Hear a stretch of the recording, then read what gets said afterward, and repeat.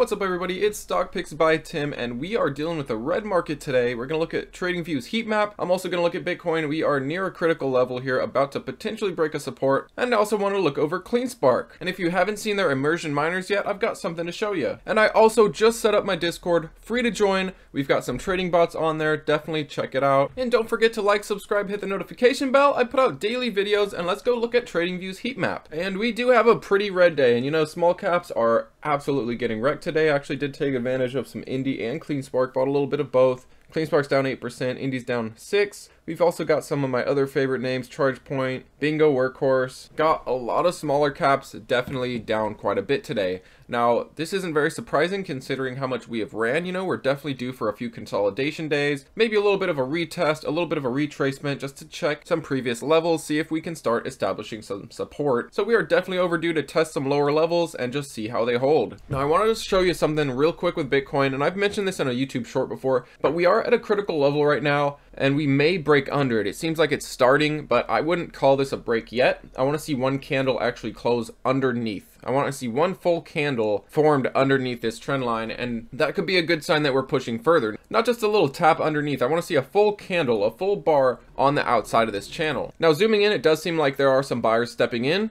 so you want to definitely watch this, keep a close eye on it. And remember, zooming out, we are still in a long-term downtrend. Very possible if we break this, we are continuing down. We may test our 20,000, we may test 17,000. But you better believe I will be a strong buyer at that time if it gets there. And to clarify, you know, regardless of what it does in this channel, regardless of what it does, I still think Bitcoin is a great DCA. But I figured I'd just give you guys kind of where I think the direction is going to go for the short term. If we do break this, it's very likely we test some lower levels. If we're able to hold it, we could potentially break out of this downtrend but we will be waiting until, you know, somewhere around the beginning of September. So we are going to have to play the waiting game if we do, in fact, hold this level. And of course with Bitcoin falling a bit, no surprise that CleanSpark would fall as well, and of course we've got small caps dropping. So we've got a lot of things pushing CleanSpark down today. Now zooming out a bit, you'll see we are still holding this trend. We were in this downwards wedge, we were in this descending wedge. Once we broke out of it, it tried to hold it tried to see if it could hold this descending trend line here as a support sure enough it did and it bounced now, I'd say we are still currently in an uptrend, and you want to watch this trend line. If we do break from this trend line, if we break $5, I'd say $5, if we were to break $5, we'll also be breaking this trend line, and we could push lower. Now, it's very possible that we do hold this trend line. We do have some previous resistances here that could help us out a bit, and we may bounce. Now, of course, it's going to depend on what the overall market does and what Bitcoin is going to do.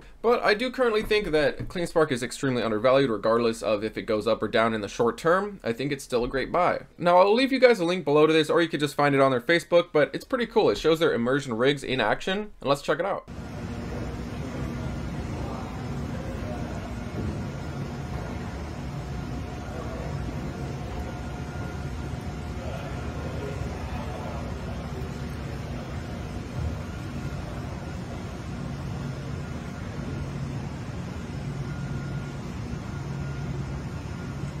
Now, really quick, I wanted to go over this article, and I'll leave it down below as well, but it's basically nine industry leaders and their ways that they would address crypto's naysayers. And Zach Bradford actually says, showing behind the scenes footage of our mining facilities gives people the chance to see the physical infrastructure that undergirds this technology. While some people may not 100% understand how something operates, that doesn't mean they won't accept the concept. There's still time before Bitcoin and other coins are widely adopted, but adoption grows when we see ourselves as educators. But I'll leave this down below for you because there are some other interesting quotes. But that's it for you today, guys. How are you doing in this red day lately? Have you taken advantage of this red day, added some stocks, or do you think we're falling from here? Let me know in the comments below. Thanks as always, guys, and take it easy.